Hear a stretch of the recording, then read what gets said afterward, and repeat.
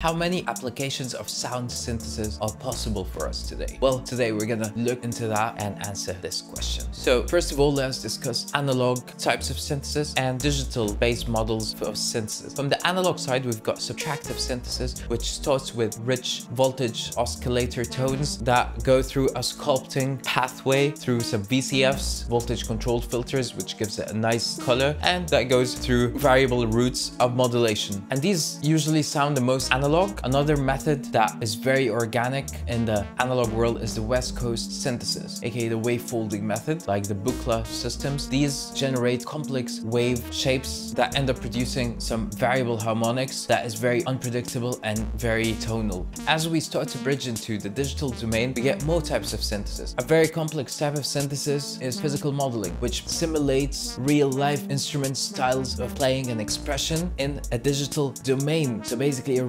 of mathematical algorithms for the expression of instruments like guitar or violin or a kalimba, expression sensitive, technique sensitive. Another type is the additive synthesis, which is quite CPU heavy and is based on stacking up sine waves to create rich, complex harmonic tones. Examples of these synthesis is the world famous Hammond organs, also the Kawai K500. Another type of synthesis, wavetable, a true spec of modern modern age. Basically, it moves between all these complex waveforms to give you cross-morphing, evolving sounds. And one of the most famous types of synthesis, that is FM.